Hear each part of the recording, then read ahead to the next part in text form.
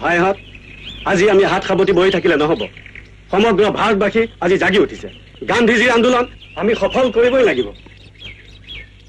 মুকুন্দই ঠিকেই কৈছে পৰাধীনতাৰ শিকলি আমি ছিঙিবই লাগিব।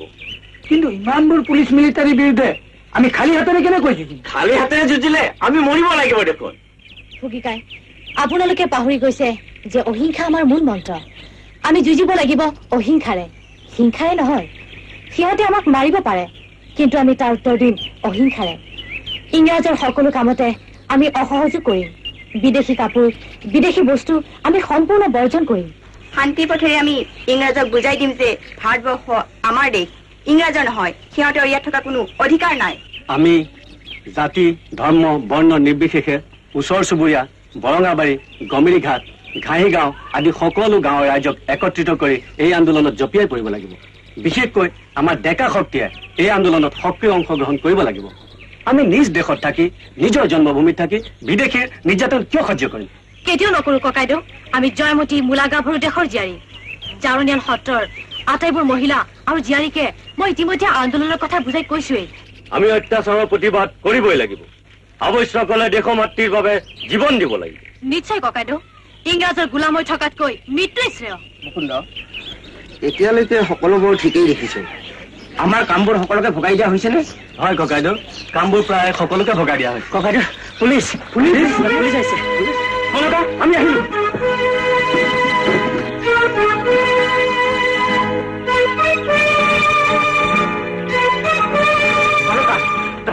মোৰ ঘৰৰ ভিতৰত থাকগৈ আমি আহিলো। আমি ভিতৰলৈ নাযাওঁ। কাৰ ভয়ত আমি পলাম? আমিতো একো অন্যায় কৰা নাই? কনকা তই ঠিকেই কৈছ। আমি কাৰো ভয়ত নপলাম। আমি ইয়াতে থাকিম। নহয় ককাইদেউ তোমালোক গুচি যোৱা। পুলিচে তোমালোকক ধৰি লৈ যাব। কিবা কব লাগিলে মই কম। আমি আহিলো।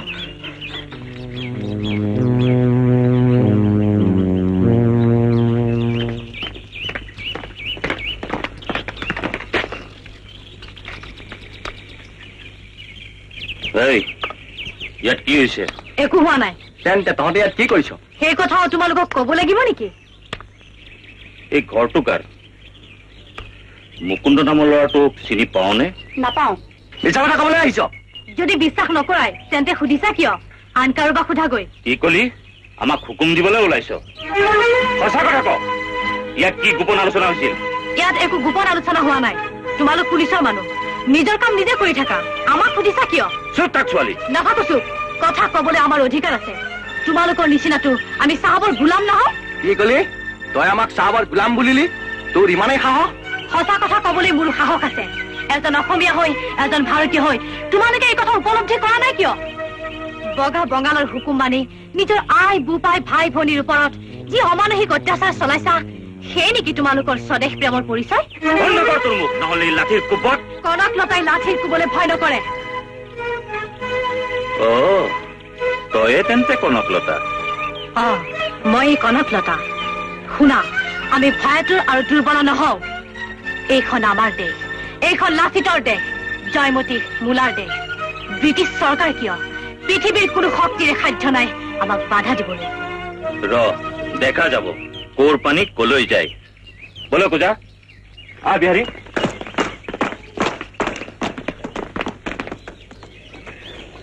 আমাক ভয়াতুৰ বুলি জানি সিহঁতে ইমানখিনি আগবাঢ়িবলৈ সাহস পাইছে। আমি সাহস কেতিয়াও হেৰুৱাব নালাগে। সাহসে আমাৰ মূলধন। Thank you.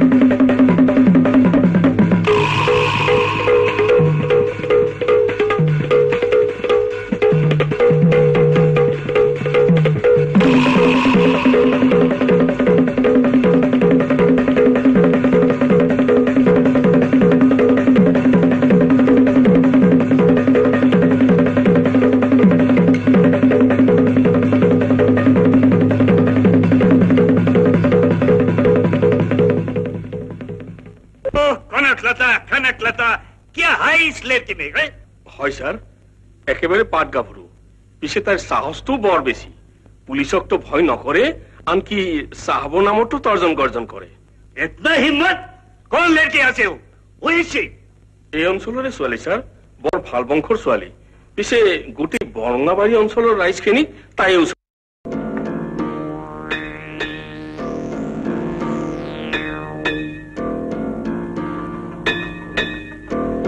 एक लड़की के लिए इतना प्रॉब्लम बट बट व्हाई নহ'লে দুকোপমান লগাই দিম নেকি ছাৰ ना ना अभी ऐसा काम नहीं करेंगे फेवरेट क्लास को मारपीट करना ठीक नहीं है समझा য়েছ sir don't worry sir I will explain okay जाएगा बाबू यू मे गो यदि अपनी जगह पर let me see how fast we can proceed जाएगा बाबू एनीवे ए लड़की पर कोनो प्रॉब्लम आइले इमीडिएटली हम लोग को खबर भेजिबे য়েছ ছাৰ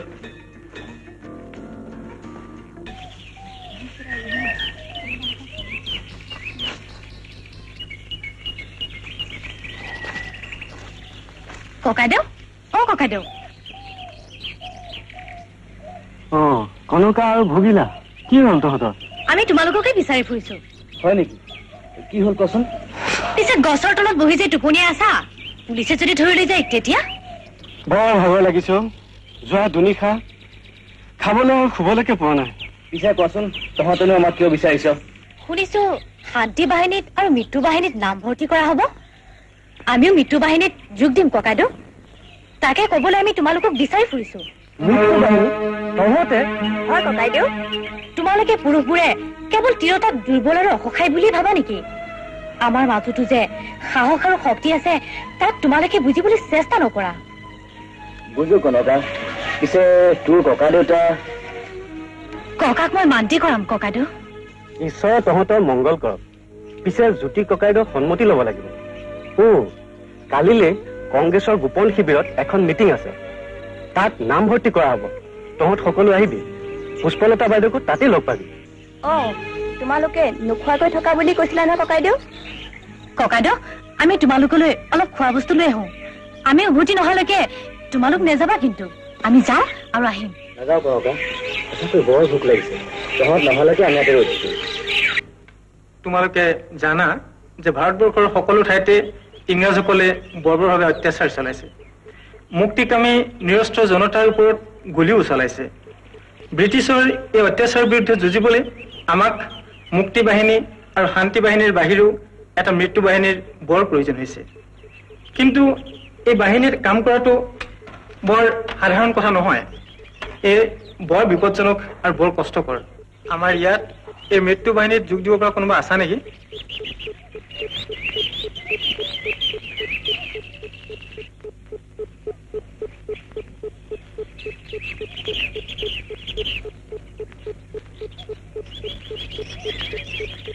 আছো ককাইদেউ। মই মৃত্যু বাহিনীত যোগ দিম। তুমি? মোৰ নাম কনকলতা বৰুৱা। বহা। মই তোমাৰ কথা আগতেও শুনিছো। কিন্তু এই বাহিনীত যোগদান কৰাৰ আগতে তুমি আকৌ এবাৰ ভালদৰে ভাবি চোৱা দৃঢ় প্ৰতিজ্ঞ নহলে আমি এই বাহিনীত নলওঁ। মই দৃঢ় প্ৰতিজ্ঞ ককাইদেউ আপুনি একো চিন্তা নকৰিব। মই যোগ দিম ককাইদেউ মই যাম ককাইদেউ মই যোগ দিম ককাইদেউ মই যাম ককাইদেউ মই যাম মই যোগ দিম কিন্তু মনত ৰাখিবা এয়া আৱেগত কোৱা কথা নহয় আমি আৱেগত কোৱা নাই ককাইদেউ বাৰু তোমালোকৰ নামবোৰ কোৱাচোন মোৰ নাম অকণি মোৰ নাম ভুগিলা মই সোমেশ্বৰী মোৰ নাম সুমিত্ৰী এখেত পুষ্পলতা দাস আপুনি এওঁলোকৰ নামবোৰ তালিকাভুক্ত কৰি সকলোবোৰ কথা ভালদৰে বুজাই ক'ব বুজাই কবৰ একো নাই। আমাৰ মাত্ৰ এটাই কথা আমি ভাৰত মাতৃৰ সন্তান। তোমালোক সকলোৱে কোৱা ভাৰত মাতা কি? মহাত্মা গান্ধী কি? আমি এতিয়া আহো ককাইদেউ অ তোমালোক যোৱা।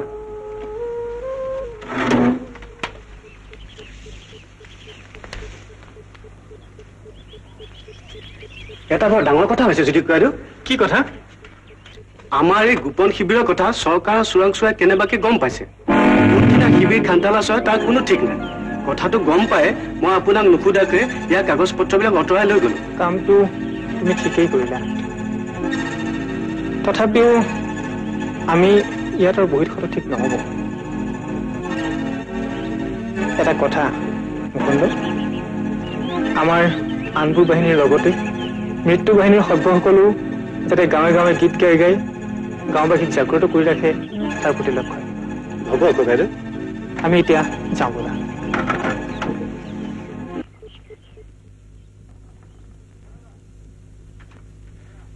কনকা এবেলা কোনে কৰিছিলি মানে ককা মানে মই এইবোৰ কি শুনিছো কনকা কি শুনিছা ককা তই বোলে মৃত্যু বাহিনীত যোগ দিছ আমাৰ কিয় ককা কাৰ প্ৰতি নাম লগাইছ দেশৰ সেৱা কৰিবলৈ জানো কাৰোবাক সুধিব লাগে ককা? মনত ৰাখিবি এইখন দোলাকাষৰীয়া বৰুৱাৰ ঘৰ। ইয়াত পুলিচ সোমাব লাগিলে। তুমি মিছাতে খং কৰিছা ককা। দোলাগাখৰীয়া বৰুৱা দেখোন স্বৰ্গদেউৰ প্ৰধান নিৰাপত্তা বিষয়া আছিল। আমিও দেশৰ স্বাধীনতাৰ বাবেহে ইংৰাজক খেদিবলৈ ওলাইছো। মোক বুজাবলৈ নাহিবি। তাই মোক উপদেশ দিবলৈ আহে। তোমাক উপদেশ দিয়া নাই ককা। মোক মাত্ৰ আশীৰ্বাদ দিয়া দেশৰ যেন সেৱা কৰিব পাৰো।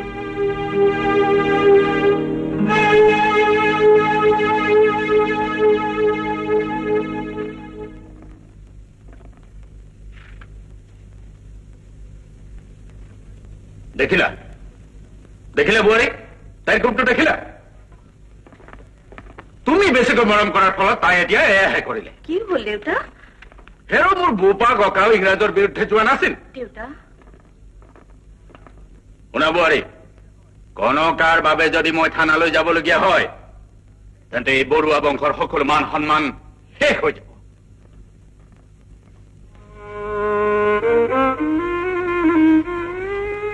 শুনিলি ককাৰ কথা? তই আৰু ঘৰৰ পৰা নোলাবি। কবলৈ দিয়া মা।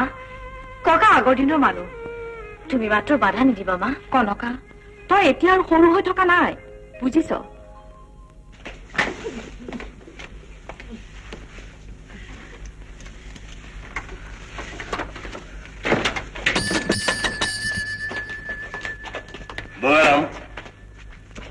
এই গাঁৱৰ মাজত এই বন্দে মাতাৰমৰ বতাহ খুব লাগিছে হয় ছাৰ সকলো ঠাণ্ডা হৈ যাব কলে গ'ল এই বাহিৰতে বহি আছে ছাৰ শুনা চাহাবৰ হুকুম আমাৰ এই এলেকাৰ পৰা প্ৰতিদিনে পাঁচ দহজন যুৱকক ধৰি আনি লকআপত ৰাখিব লাগে হ'ব ছাৰ দক্ষিণ নিৰ্দক্ষিণ কোনো কথা নাই কেৱল মাথা গন্তি যোৱা তোমালোক যোৱা সিং মোৰ চাইকেল ৰেডি কৰা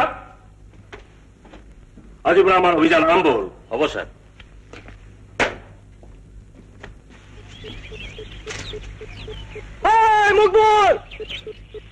মুকবুল!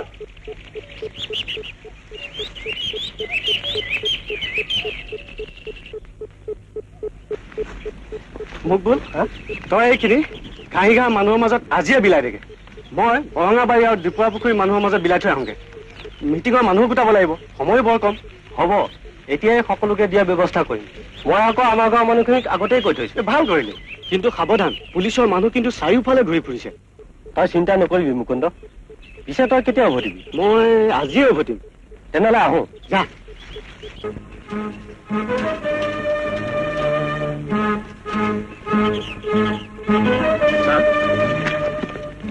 সৌটো এটা আন্দোলনকাৰী। সিদিনাখন সি পলাই খালিল মুকুন্দ লগত সি আন্দোলন কৰি ফুৰে ছাৰ। হয় নেকি? তাকতো মই কেতিয়াও দেখা নাই। তাক ধৰিব লাগে। ৰ'ব ছাৰ মই ধৰি আনো। যোৱা ই কিন্তু বৰ সাংঘাতিক ছাৰ। দেখাত নিমাখিত হৈ থাকে। ৰ আজি তাক ধৰি আনিবলৈ দে। তাৰপিছত তাক মজা দেখুৱাম।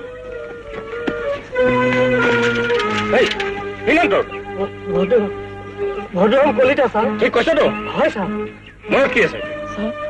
আলু পিঁয়াজ আছে ছাৰ আলু পিঁয়াজ? হয় ছাৰ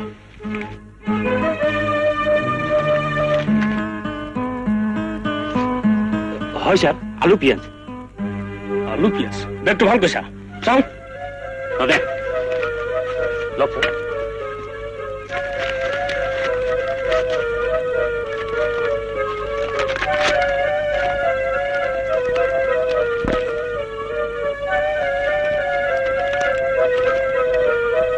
এইবোৰ কি?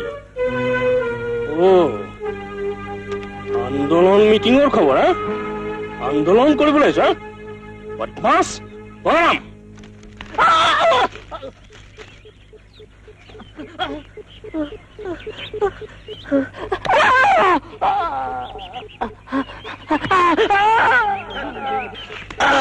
এই কাগজবোৰ কাক দিবলৈ আনিছিলি হা? কাক দিবলৈ আনিছিলি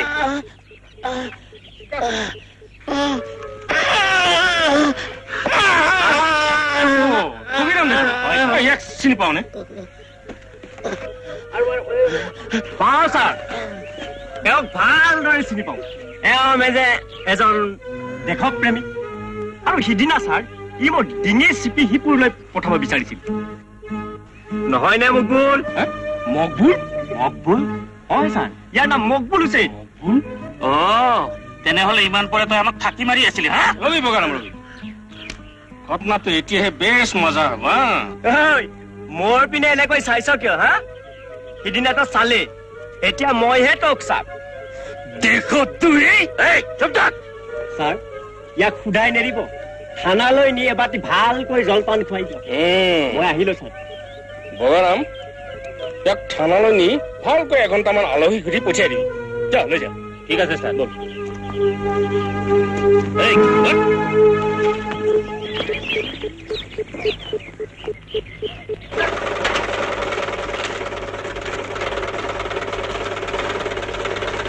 আহক বাইদেউ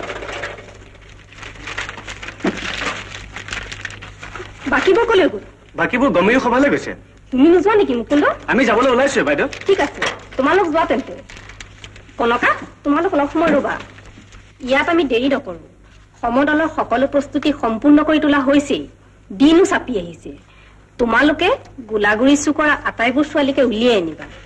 বাইদেউ আমি আমাৰ স্বেচ্ছাসেৱিকাসকলক সকলো কথা বুজাই কৈছোৱেই। তোমালোকে বৰ সতৰ্কতাৰে কাম কৰিবা। চৰকাৰৰ চোৰাংচোৱা চাৰিওফালে ঘূৰি ফুৰিছে। আপুনি কোনো চিন্তা নকৰিব বাইদেউ আমি বৰ সাৱধানেৰে কামবোৰ কৰিছো। মই এটা কথা ভাবিছো। কেৱল গান্ধী টুপি আৰু পতাকা হাতত লৈয়ে জানো আমি সফল হ'ব পাৰিম? অ চৰা জানিবলৈ আমি এনেকৈ আগবাঢ়িব লাগিব। মোৰ বোধৰে এই পথাৰে সম্ভৱ নহব। ৰাইফল কামানেৰে ইংৰাজৰ চিপাহী সদায় প্ৰস্তুত হৈ থাকে। আমি মৃত্যুক ভয় নকৰো বাইদেউ। ভাল কথা। কিন্তু আমাৰ মৃত্যু আনিব খোজাসকলৰ সন্মুখত প্ৰত্যুত্তৰ দিবলৈ আমাৰ হাততো কিবা থকা উচিত? চি চি তুমি ভুল কথা কৈছা। গান্ধীজীয়ে সেইবোৰ কথা কোৱা নাই। আমাৰ জ্যোতিপ্ৰসাদ আৰু বিষ্ণুৰভাও কোৱা নাই। নকলেও মই জানো সশস্ত্ৰ বিপ্লৱৰেহে চৰা জানিব পাৰিব। নহয় বাইদেউ আমি গান্ধীজীৰ আদৰ্শকহে অনুসৰণ কৰা উচিত হ'ব। তুমি ঠিক কথাই কৈছা। আন্দোলনত গান্ধীজীয়ে মন্ত্ৰ দিছে অহিংসাই পৰম ধৰ্ম। বুজিছো। কিন্তু হিংসাৰ সন্মুখত কেৱল বন্দী মাতৰম বুলি চিঞৰিলি জানো মাতৃক পূজা কৰা হব? হ'ব বাইদেউ। গান্ধীজীৰ অহিংসা নীতিয়ে আমাৰ একমাত্ৰ পথ। গান্ধীজীৰ আদৰ্শত আগবাঢ়িলে আমি এদিন স্বৰাজ পামেই। ইংৰাজে এদিন এই দেশ এৰি যাবলৈ বাধ্য হ'ব। আমাৰ কলংপুৰ আৰু ব্ৰহ্মজান মৌজাৰ উপৰিও চাৰিওফালৰ সকলো মানুহ ওলাই আহিবলৈ প্ৰস্তুত হৈছে।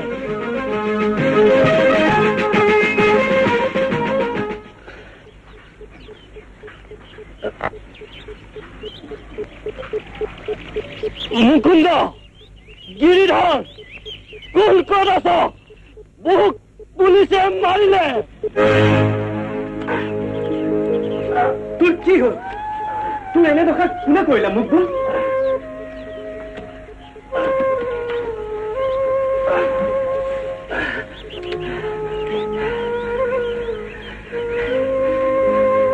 ৰেৱতীৰ দলে মোক মাৰিলে মুকুন্দ আমি প্ৰতিশোধ ল'ম তেজৰ উত্তৰ তেজেৰেই দিম শান্ত হ গিৰিধৰ খঙৰ উত্তেজনাত আমি কোনো কাম কৰা উচিত নহয় তই ঠিকেই কৈছ মুকুন্দ হিংসাৰ প্ৰত্যুত্তৰ আমি হিংসাই দিয়াটো উচিত যিহেতু আমাৰ আন্দোলনটো হিংসা সিহঁতে আমাক মাৰি মাৰি শেষ কৰক আৰু আমি হাত সাৱটি বহি থাকিম।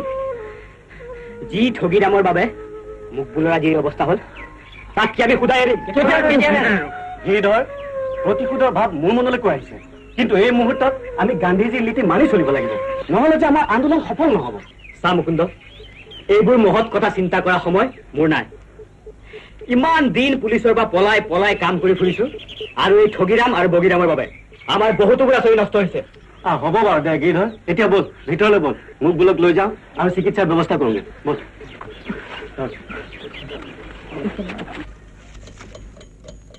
কিয় ধবিৰাম কপিছা কিয়? হুজুৰ দেউতা মোৰ বৰ ভয় লাগিছে। সিহঁতে মোক সোধাই নিদিব। আৰে, মই থাকোঁতে ইমান ভয় কিয়? নহয় হুজুৰ আপুনি নাজানে সিহঁত বৰ সাংঘাতিক। খং উঠিলে সিহঁতে সকলো কাম কৰিব পাৰে। হয় নেকি? তোমাৰ ভয়টো বৰ বেছি। ঠিক আছে আজি ৰাতিটো ইয়াতে থাকা। হয় হুজুৰ কাইলৈ মই আৰু বগীৰামে এই ঠাই এৰি টাউনলৈকে গুচি যাম। বাৰু বাৰু তোমাৰ মতেই হ'ব। মই তোমালোকৰ লগত দুজন চিপাহী পঠাম। হয় হুজুৰ বৰ দয়া কৰা হ'ব। এতিয়া সেই কামৰা জিৰণি লোৱাগৈ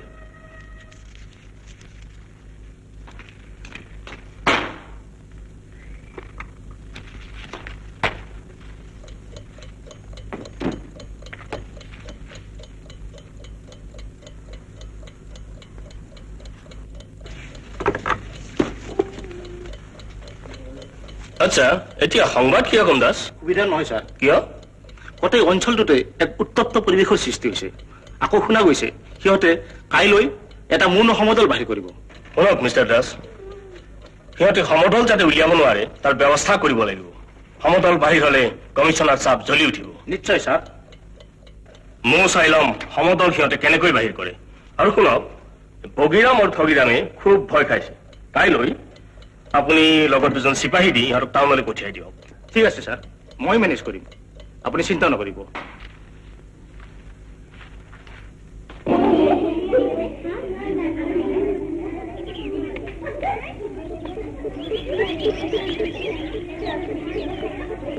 জ্যোতি ককাইদেউৰ কথাবোৰ শুনিলে মনত বৰ সাহস পোৱা যায় নহয়? বৰ ভাল লাগে।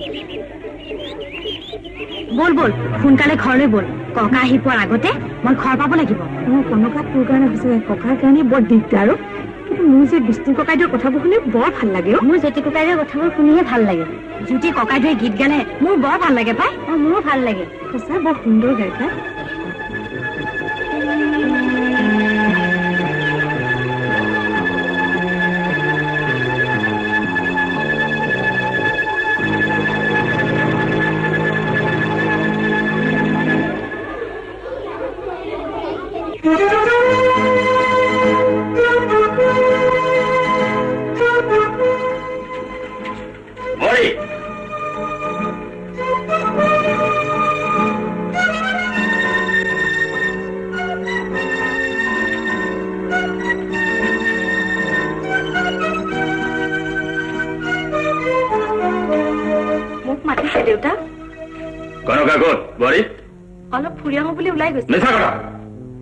কনকা ফুৰিবলৈ যোৱা নাই। আচলতে দেউতা এই কনকা আইদেউ বন্দে মাতৰম কৰিবলৈহে গৈছে বোৱাৰী মই তোমাক কনকাৰ কথা বহুত দিন কলো কিন্তু তুমি মোৰ কথা গুৰুত্ব নিদিলা। চোৱা বোৱাৰী গোটেই অঞ্চলটোত পুলিচ মিলিটাৰী ভৰি পৰিছে। কোন সময়ত কি ঘটি যায় তাৰ কোনো ঠিক নাই। এনে অৱস্থাত তাই সমতলত ঘূৰি ফুৰিছে। তুমি সকলো জানা সকলো বুজা। মুখেৰে আপুনি এবাৰ কি কৈছে দেউতা? সঁচা কৈছো বোৱাৰী এইবোৰ ভাল কথা হোৱা নাই। আচলতে দেউতা এই মুকুন্দ হেম ফুকিলা সোমেশ্বৰীহঁতৰ লগ পাইহে আমাৰ আইদেউৱে এই বন্দে মাতৰমত যোগ দিছে। শুনা বোৱাৰী কনকা আহিলে কৈ দিবা মোৰ অনুমতি নোলোৱাকৈ যেন তাই কলৈকো নাযায়। আৰু যদি যায় তাৰ বাবে জগৰীয়া হবা তুমি কথাটো যেন মনত ৰাখা।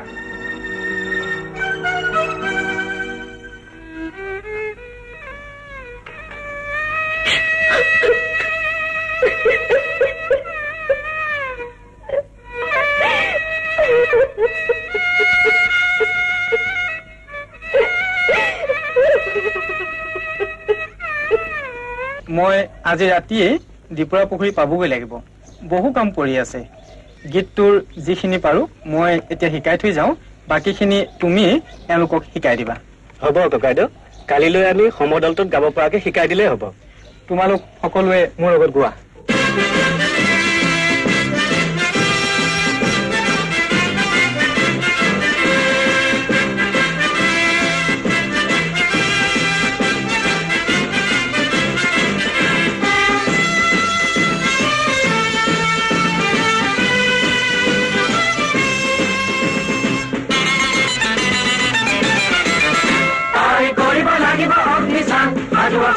নভজু হন সাজু সাজু নভজু হন পাই কৰিব লাগিব অগ্নিস্থান সাজু সাজু নভজু হন সাজু সাজু নভজু হন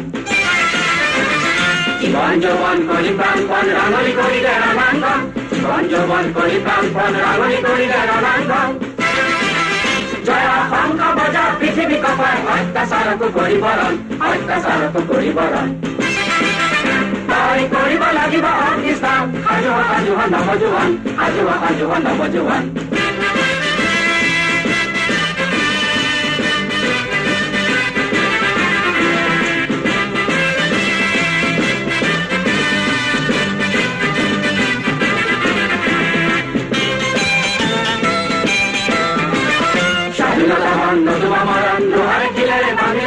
স্বাধীনতা গণ নতুবা মৰণ লোহাৰে শিলেৰে মন বজ্ৰকণ্ঠে বিশ্ব খোলা সত্যৰ জয়গান বুকুৰ তেজেৰে ধুইতে আজি ভাৰতৰ অপমান বজ্ৰকণ্ঠে বিশ্ব খোলা সত্যৰ জয়গান বুকুৰ তেজেৰে ধুইতে আজি ভাৰতৰ অপমান সাজু হ সাজু হ নৱজোৱান সাজু হ সাজু হ নৱজোৱান তাই কৰিব লাগিব অগ্নিস্থান। সাজু হ সাজু হ নৱজোৱান সাজু হ সাজু হ নৱজোৱান তাই কৰিব লাগিব অগ্নিস্থান সাজু হ সাজু হ নৱজোৱান সাজু হ সাজু হ নৱজোৱান তাই কৰিব লাগিব অগ্নিস্থান সাজু হ সাজু হ নৱজোৱান সাজু হ সাজু হ নৱজোৱান মই দাৰোগা চাহাবক কৈছিলো যে পুলিচৰ আমাৰ কি দৰকাৰ আছে? তেওঁহে আমাৰ লগত পঠাই দিলে। এই মুকুন্দ ভয় কৰিবলগীয়া কি আছে? কি আছে? ঐ ঠগি পুলিচৰ লগত আহি আছে। আজি ঠগি তোক ঐ বল বল বল বল বল ঐ আজি হালকে পাইছো তহঁতক কি লাগে ভালে ভালে গুচি যা তহঁতৰ বেটাক গুলি মাৰা। ঐ, ঐ, ঐ, ঐ, ঐ, ঐ, ঐ, লৈ যা এইবিলাক। লৈ যা, এই গাঁৱতে খোল ধাৰে ঘূৰাবি লৈ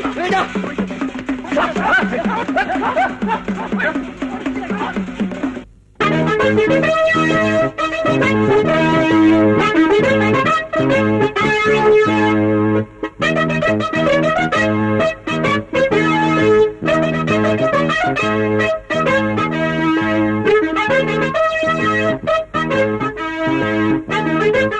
Daroga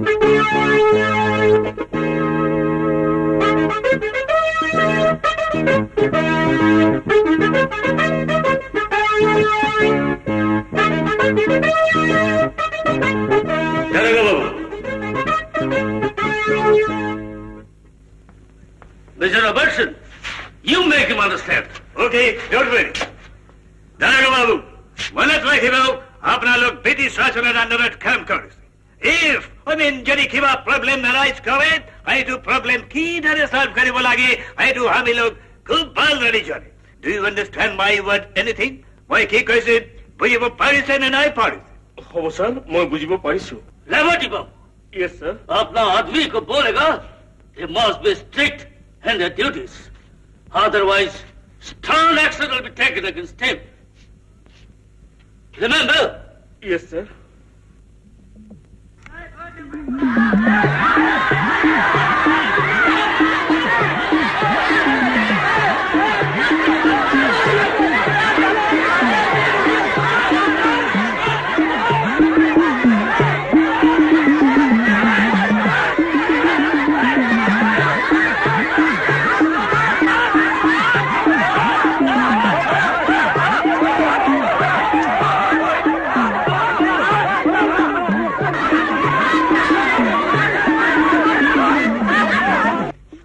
Mukunda কনকা আমাক ৰক্ষা কৰ হওক। আমি আৰু এনেকুৱা চোৱাং চোৱাগী কেতিয়াও নকৰো বুজিছ? দেখিলি ঠগি আৰু বগী? দেশত দুই অৱস্থা এনেকুৱাই হয়। কনকা আমাক ৰক্ষা কৰ আমি আৰু এনেকুৱা কাম কেতিয়াও নকৰো বুজিছ? বুইছা দাইটি। ৰাইজৰ বিৰুদ্ধে গলে তোমালোকৰ এনেকুৱা হবই। তোমালোকো আহি আমাৰ আন্দোলনত যোগ দিয়া। ঠগি আৰু বগা ভৱিষ্যতে আৰু তহঁতে ৰাইজৰ বিৰুদ্ধে নাযাবি। ইহঁতক যাবলৈ দি ভালেই কৰিলি মুকুন্দ। নাই নাই ৰাইজৰ মৰত ইহঁত আজি শেষ হ'লহেঁতেন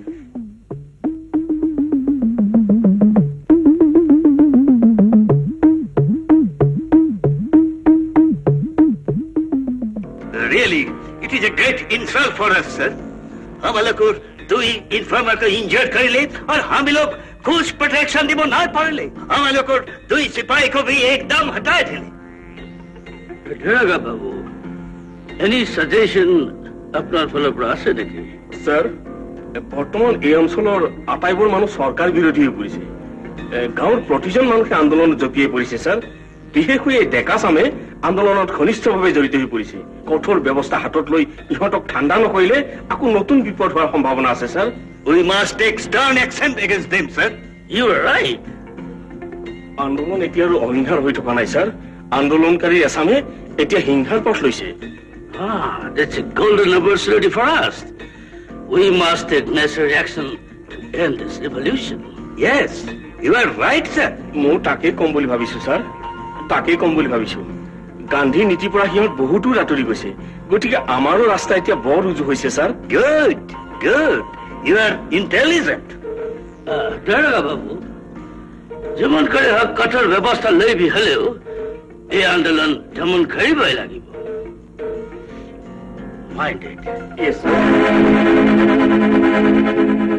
এতিয়া মুকুন্দই আমাৰ আগন্তুক কৰ্তব্যৰ বিষয়ে আমাৰ স্বেচ্ছাসেৱক আৰু স্বেচ্ছাসেৱিকাসকলক বুজাই ক'ব মৰমৰ ককাই ভাইহঁত আৰু ভনীহঁত আমাৰ আটাইতকৈ গুৰুত্বপূৰ্ণ দিনটো হ'ল বিছ ছেপ্টেম্বৰ। সেইদিনা আমি গহপুৰ থানাত স্বাধীনতাৰ পতাকা তুলিবলৈ স্থিৰ কৰিছোঁ। ডেকাসকলৰ তাত কাম হ'ব গাঁও আৰু চহৰৰ মানুহবোৰক খবৰ দিয়া। আৰু আমাৰ ছোৱালীবিলাকৰ হ'ল গান্ধী টুপি চিলোৱা। আমাৰ নপমা গাঁৱৰ কাৰণে কিমান টুপি লাগিব ককাইদেউ কমেও দুহেজাৰমান টুপি চিলাব লাগিব। আপুনি একো চিন্তা নকৰিব ককাইদেউ আমি ব্যৱস্থা কৰিম। আমাৰ বৰঙাবাৰী গাঁৱৰ ছোৱালীবোৰে গান্ধী টুপি চিলাই কৰিয়ে আছে। ইতিমধ্যে প্ৰায় এহেজাৰ মান চিলোৱা হৈছে। যোৱাকালি ঘাঁহি গাঁৱৰ ছোৱালী আহি গান্ধী টুপি চিলাবৰ বাবে আমাৰ পৰা কাপোৰ লৈ গৈছে। আমি এলেঙি সত্ৰ আৰু কলংপুৰ গাঁৱৰ ৰাইজক বিশ ছেপ্টেম্বৰৰ বাবে সাজু কৰি ৰাখিছো। আমাৰ দীপৰা পুখুৰী গাঁৱৰ ৰাইজকো সাজু কৰি ৰাখিছো। মৃত্যু বাহিনীৰ সভ্যসকলে কোৱা কথা শুনি মই ভাল পালো। আমি এতিয়া ইয়াত এটা মুহূৰ্ত সময় নষ্ট নকৰো। বিশ ছেপ্টেম্বৰলৈ মাত্ৰ কেইটামান দিনহে বাকী আছে। আমি এতিয়া উঠো। ঊনৈশ ছেপ্টেম্বৰ দুপৰীয়া আমি ইয়াত আকৌ লগ হ'ম। এতিয়া সকলোৱে কোৱা। বন্দে মাতৰম বন্দে মাতৰম বন্দে মাতৰম বন্দে মাতৰম কনকা তুমি এতিয়াও ভালদৰে ভাবি চোৱা তোমাৰ বয়স কম। তুমি সমদলৰ একেবাৰে আগত থকাটো মই কেতিয়াও নিবিচাৰো। বাইদেউ দেশৰ বাবে মৃত্যু বাহিনীত নাম লিখিছো। পতাকাৰ সন্মান ৰক্ষা কৰিবই লাগিব। আপুনি জ্যোতি ককাইদেউ বিষ্ণু ককাইদেউৰ লগত আলোচনা কৰি মোক সমদলৰ একেবাৰে আগত দিয়ক বাইদেউ। কিন্তু তোমাৰ ককাই যদি নিদিয়ে ককাক মই মান্তি কৰাম বাইদেউ আপুনি কোনো চিন্তা নকৰিব okay okay.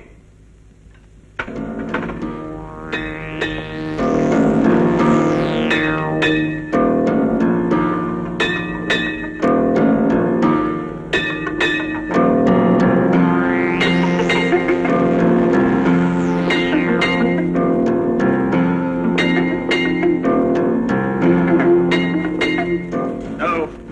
think you understand, Dargababu. কলকাতা আপনি বুঝিব পাৰিছে নে নাই পাৰ বুজিব পাৰিছো ছাৰ কিন্তু বিদ্ৰোহীৰ সংখ্যা দিনে দিনে বাঢ়িহে গৈছে sir It's only for your negligence. You must be very straight.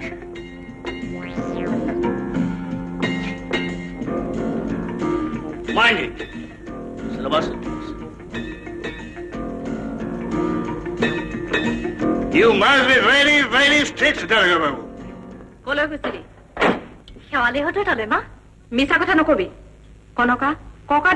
খুব খং কৰিছে কিয় মিটিঙে কিন্তু মইতো একো বেয়া কাম কৰা নাই মা ভাল বেয়া সেইটো মই নুবুজো ককা দেউতাই তোক বেয়া পাইছে তই আৰু কলৈকো যাব নোৱাৰ আন ছোৱালীবোৰোতো গৈছে মা আনৰ লগত নিজক তুলনা নকৰিবি আমাৰ বংশ মৰ্যাদাৰ কথা মনত ৰাখিবি বংশ মৰ্যাদা সন্মান এইবোৰলৈ বহি থকাৰ সময় এতিয়া নাই মা। সেইবোৰ কথা ককাৰক কবি মোক কৈ লাভ নাই। মই তোক কৈছো আজিৰ পৰা ককাৰক নুসুধাকৈ তই কলৈকো যাব নোৱাৰ। এয়া ককাৰৰ আদেশ। বুজিছো মা। নিজৰ আদৰৰ নাতিনী যাতে কোনো অমংগল নহয় তাৰ বাবে ককাৰে আদেশ। কিন্তু মা মোৰ দৰে দেশৰ হাজাৰ হাজাৰ কনকায়ো আন্দোলনত জঁপিয়াই পৰিছে। সেই কথা জানো ককাই চিন্তা কৰিছে? যদি দেশখনৰ সকলো লোকেই বগা চাহাবৰ হাতত শেষ হৈ যায় তেনেহলে আমি জীয়াই থকাৰ সাৰ্থকতা কত? কনকা যি কৰ ভাবি চিন্তি কৰিবি মোৰ হলে বৰ ভয় লাগিছে। ককাৰৰ কথা মনত ৰাখিবি।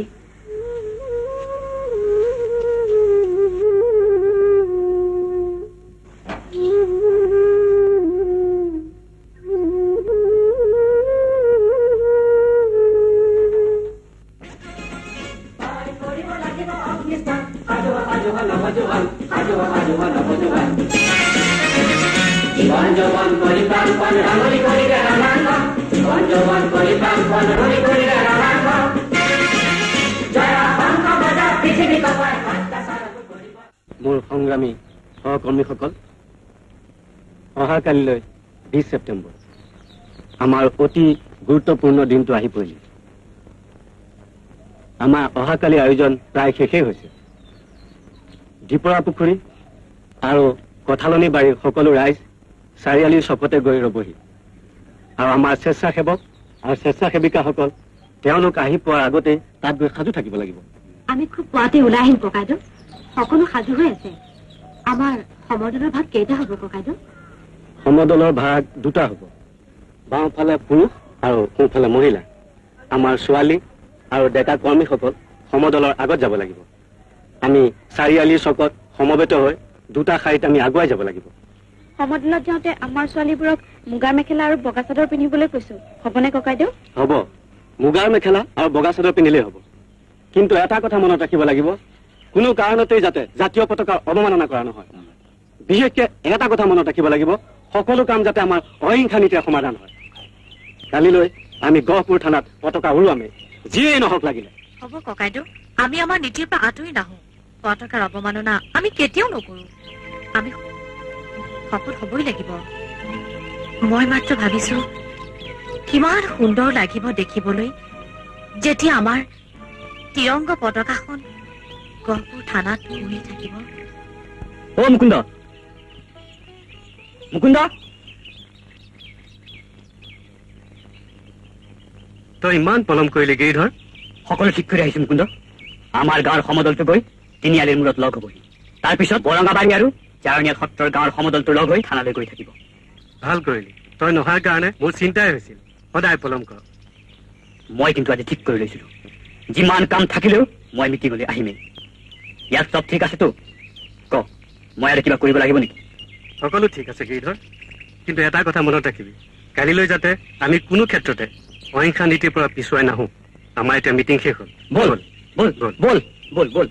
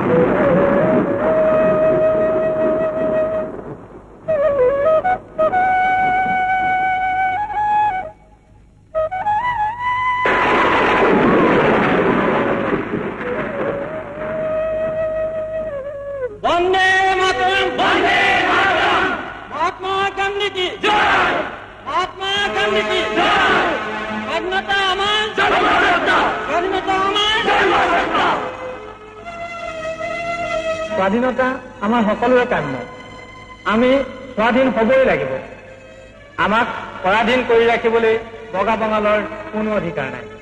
পৰৰাজ্য লোভী বগা বঙালৰ এই অমানসিক অত্যাচাৰ সহ্য কৰিব পাৰি জানো ৰাইজ? এই অত্যাচাৰৰ বিৰুদ্ধে আমি যুঁজিবই লাগিব। আমাৰ ডেকা শক্তি কেতিয়াও পিছুৱাই নাথাকে। আমাৰ মহিলা শক্তি কেতিয়াও পিছুৱাই নাথাকে। পণ্ডিত মতিলাল নেহৰুৱে কৈছিল যে দমন আৰু সন্ত্ৰাসে কোনো এটা জাতিক ধ্বংস কৰিব নোৱাৰে।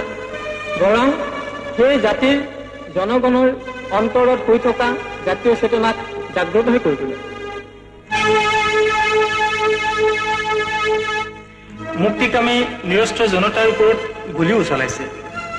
ব্ৰিটিছৰ এই অত্যাচাৰৰ বিৰুদ্ধে যুঁজিবলৈ আমাক মুক্তি বাহিনী আৰু শান্তি বাহিনীৰ বাহিৰেও এটা মৃত্যু বাহিনীৰ বৰ প্ৰয়োজন হৈছে।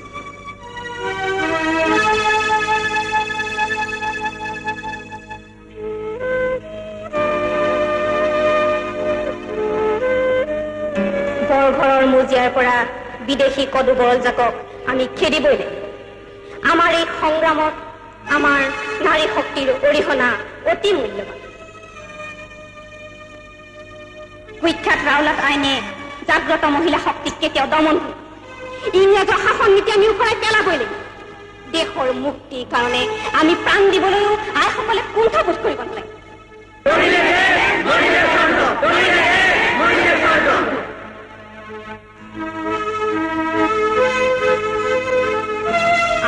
নিজক তুলনা নকৰিবি। আমাৰ বংশ মৰ্যাদাৰ কথা মনত ৰাখিবি। আজিৰ পৰা ককাৰক নুসুধাকৈ তই কলৈকো যাব নোৱাৰ। এয়া ককাৰৰ আদেশ। যি কৰ ভাবি চিন্তি কৰিবি। বৰ ভয় লাগিছে। ককাৰৰ কথা মনত ৰাখিবি।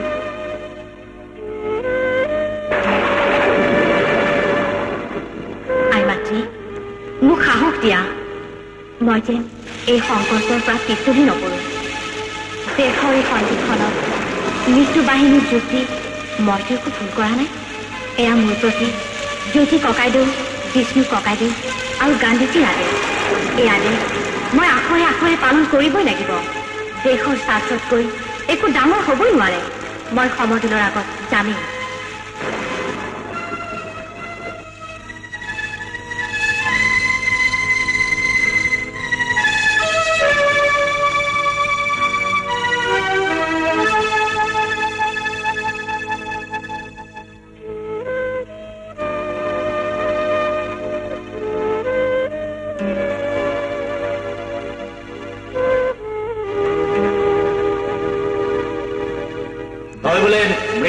যোগ দিছ?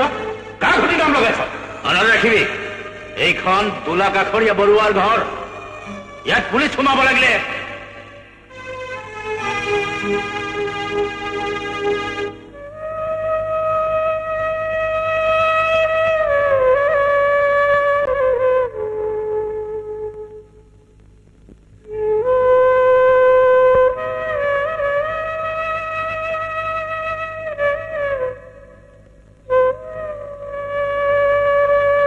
কিয় জানো তোৰ দেউতাৰ কথা মনত পৰিলেই মোৰ বুকুখন খালী হৈ যায়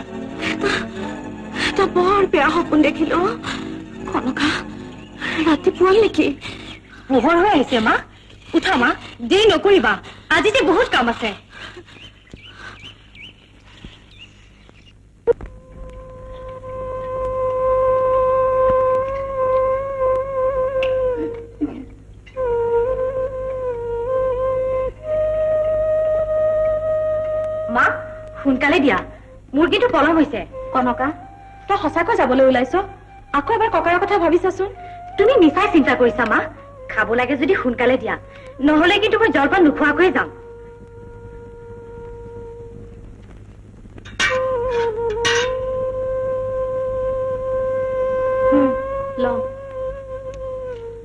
মোৰ বৰ ভয় লাগিছে কনকা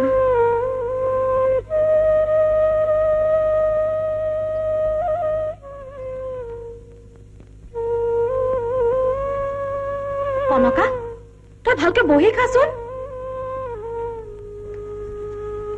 আমাৰ কথা নামানি যেতিয়া যাবলৈ ওলাইছ অন্তত জলপান পাতি ভালকৈ পেট ভৰাই খাই যা।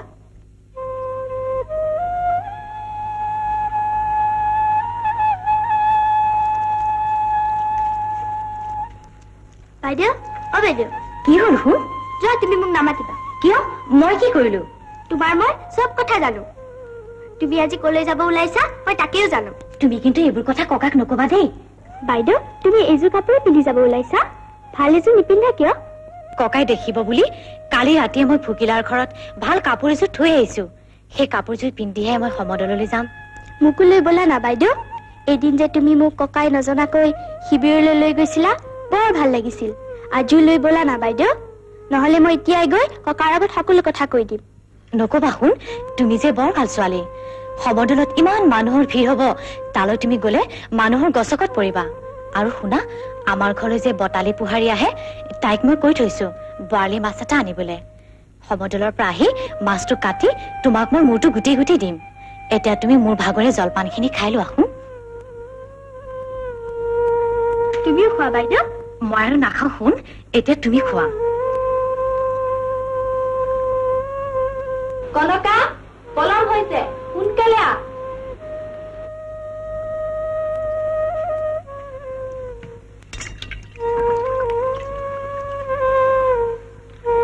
মা মই আহিলো। শালখন সামৰি থবা নহলে বৰষুণ আহিলে তিতিব। তুলসী ভেটিটো মই মচি থৈ গৈছো। ককাদতে গা ধোৱা পানী বিচাৰি মোকেই মাতিব। পানীখিনি আজি তুমিয়ে দিবা মা। তই নগলে নহয় কনকা। ককাৰক মই কি বুলি কম? নাকান্দিবা মা। ককালতাক মোৰ সেৱা জনাই কবা ককাই যেন মোক খং নকৰে। মই দেশৰ মুক্তিৰ বাবেহে ককাৰ অবাধ্য হৈছো। তুমি কথাটো ককাক ভালদৰে বুজাই কবা মা। মই আহিলো।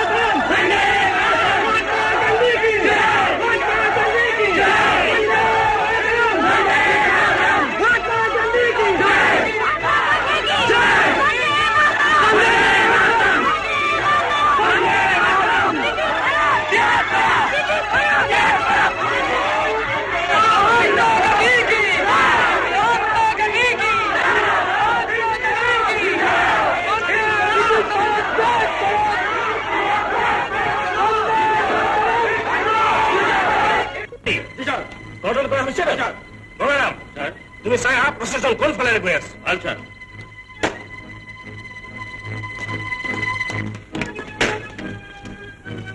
পৰিস্থিতি জটিল হ'ব ছাৰ আহা একো ভয় কৰিব নালাগে বিহাৰী ওজা তোমালোক সাজু হোৱা আমি ৰেডি আছে ছাৰ সমতল থানাৰ ফালে আহি আছে ছাৰ কি? যোৱা আটাবিলাক ৰেডি হোৱা যাই